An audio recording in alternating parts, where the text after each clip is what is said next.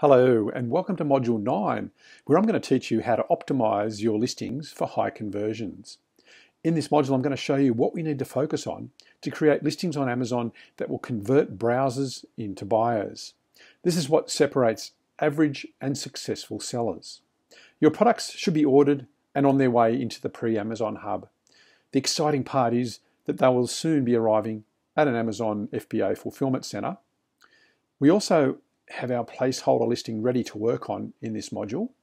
We're now ready to take that placeholder listing that we created earlier and supercharge it and add the persuasive elements such as title, where we can add keywords. We will also add uh, bullet points, images, and a product description, which will help us sell our products. I'm going to teach you step by step how to complete all of these elements I'm going to give you some simple formulas so that you can create your own bullet points for your particular product and product descriptions.